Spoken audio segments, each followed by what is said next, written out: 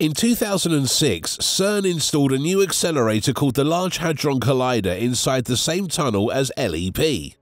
The machine started its operation, giving the world's physicists a new tool to probe deeper than ever into the heart of the matter. These physicists build particle detectors at their home institutes and bring them to CERN to record the results of particle collisions. It has been confirmed that something weird is happening at CERN that no one can explain. Could this be something that would lead to the destruction of planets? You're about to find out, so stay tuned. We understand you may never have heard about CERN, so let's quickly tell you how it started. It began as the European Organization for Nuclear Research in the 1950s. It is now one of the most prestigious research institutions in the world. Dubbed the European Laboratory for Particle Physics, its mission is to discover what makes our universe work, where it came from, and where it is going. CERN employs some of the world's largest and most complex machines to investigate nature's smallest building blocks, the fundamental particles. These are accelerators that accelerate tiny particles to a fraction of the speed of light and detectors that act as electronic eyes allowing the particles to be seen. The Large Hadron Collider detectors turned on all subsystems. They began recording high-energy collisions at unprecedented energy, kicking off a new physics season.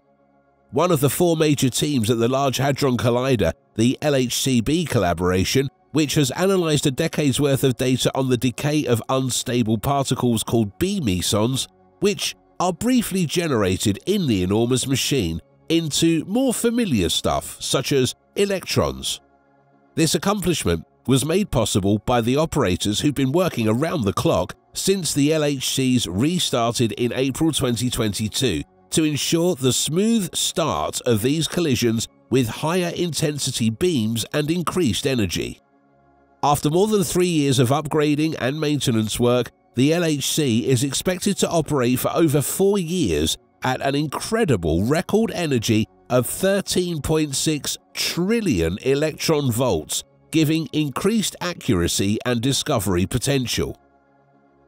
Increased collision rates, increased collision energy, improved data readout, selection systems, new detector systems, and computational infrastructure all lead to a strong physics season that will broaden the LHC's already diversified physics program. According to the standard model of particle physics, which provides the mathematical foundation for scientists' understanding of the subatomic world, particles should decay into products that include electrons at the same rate as they wear into products that fit in the muon, a heavier cousin of the electron. Instead of decaying into electrons and muons at equal rates, as predicted by the model, the B mesons are deviating toward the electron-producing decay pathway. A look at this recent finding published by CERN indicates that something unusual is occurring. The discovery has a significance of 3.1 sigmas, which in physics lingo means that the probability of it being a fluke is around 1 in 1000. Particle physicists often wait until a finding achieves a significance of 5 sigmas, where the likelihood of it being a statistical quirk is reduced to 1 in a few million, before declaring a new discovery, even if the evidence seems compelling. It is an exciting clue, but the thing is, the team has seen sigmas come and go before, so they are trying to be careful. The particles and forces that shape the subatomic realm are laid out in the standard model of particle physics. This model, developed over the last 50 years, describes how the fundamental particles called quarks interact to form protons and neutrons within atomic nuclei, and how these, together with electrons, compose all known matter. The strong force which keeps atomic nuclei together and the weak force which drives nuclear reactions in the Sun may all be understood by this model. However, only some things can be explained by the traditional model. It fails to account for gravity, the fourth force, and more surprisingly, it provides no explanation for the vast majority of the cosmos that physicists think cannot be made of ordinary stuff. CERN scientists are attempting to determine the tiniest building components of matter. Except for dark matter, all matter consists of molecules which are made up of atoms. Electrons circle around the nucleus within the particles. The nucleus is composed mainly of protons and neutrons, yet even these are composite substances. The quarks are found within protons and neutrons, although they seem indivisible, much like electrons. Some of the constituent particles studied at CERN and other facilities include quarks and electrons. However, physicists have discovered more of these elementary particles in various experiments. So many that researchers needed to organize them in the same way that Mendeleev did with his periodic table.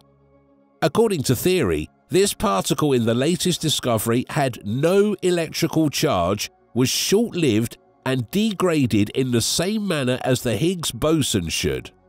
To determine if it was the Higgs boson, researchers examined its spin, stating that the Higgs boson is the only particle with a spin of zero.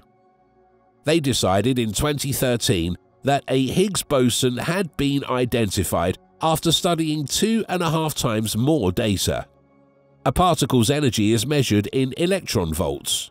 One electron volt is the amount of energy acquired by an electron traveling through a 1 volt electrical field. The protons gain 6.5 million million electron volts of energy as they race around the LHC, known as 6.5 tera electron volts or TeV.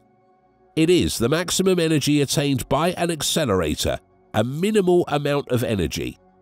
However, an accelerator concentrates that energy at a microscopic scale to produce very high energy concentrations similar to those seen soon after the Big Bang.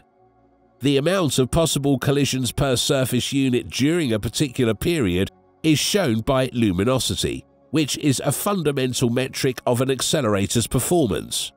The instantaneous brightness is recorded in CM2S1, where the integrated luminosity, which represents the number of collisions that might occur in a given time, is measured in inverse femtobarn. 100 million millions of possible collisions are represented by one inverse femtobarn.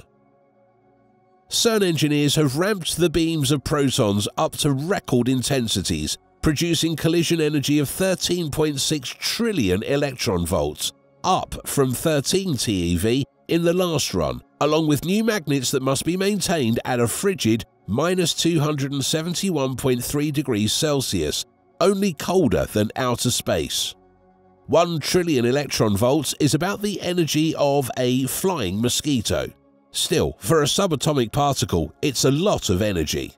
CERN claims that the beams racing around the ring will someday carry the same amount of energy as a train travelling 150 kilometers per hour. The particle beams will also be denser, boosting the likelihood of a collision and the possibility of creating Higgs bosons, discovering new particles, and maybe discovering new physics. The axion, a particle assumed to not emit, absorb, or reflect light, is one of the prized possessions. It's one of the top candidates for the composition of dark matter, the mysterious substance that scientists believe accounts for 85% of all matter in the universe. The discovery of the Higgs boson was just the beginning. Ten years later, physicists have studied how strongly it interacts with other particles to determine whether theoretical predictions are correct. The strength of interaction may be evaluated empirically by observing Higgs boson creation and decay. The heavier a particle, the more likely the Higgs boson will decay into or be formed from it. In 2016, interaction with tau leptons was identified, while in 2018 interaction with top and bottom quarks was observed. Could interactions with the Higgs boson lead to the discovery of dark matter and other undiscovered particles. The team finds this discovery intriguing, since it follows the same trend as earlier results from the LHCb and other global experiments. If the discovery holds up, it might be explained by yet to observed particles known as Z primes or leptoquarks, which exert novel pressures on other particles. The possible existence of a new quantum force that causes B mesons to decay into muons at an inappropriate pace. Will this ever happen? Let us know your thoughts in the comments section. We hope you enjoyed watching this video. If yes, we're sure you would like this next video here. Thanks for watching and stay tuned for more space videos.